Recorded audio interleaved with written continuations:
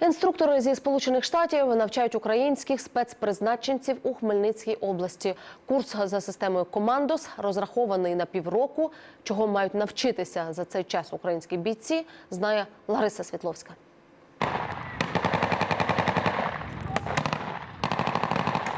Перезарядка автоматів, кулеметні розрахунки, брязкіт патронташа та стрільба чергами. В бліндажах на вогневих точках поруч з бійцями спецназу американські інструктори. За командою вояки змінюють положення та вибирають місце, звідки видно умовного противника.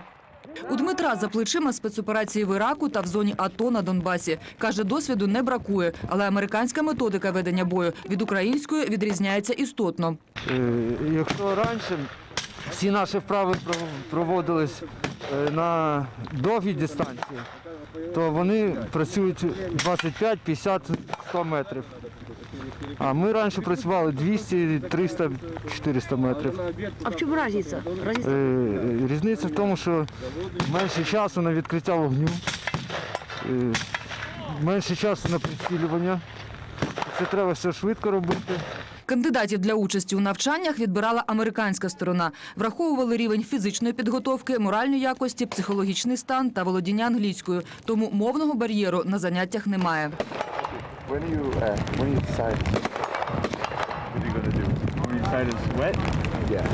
Не завадив і сьогоднішній снігопад. Вийшло тренування в екстремальних умовах. Погода нам, дождь, снег, ветер не помеха.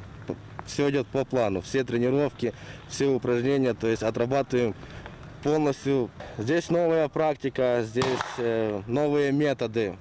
То есть э, нет такого, что мы как бы и не умели, просто люди немножко показывают, как это делается проще, делается лучше.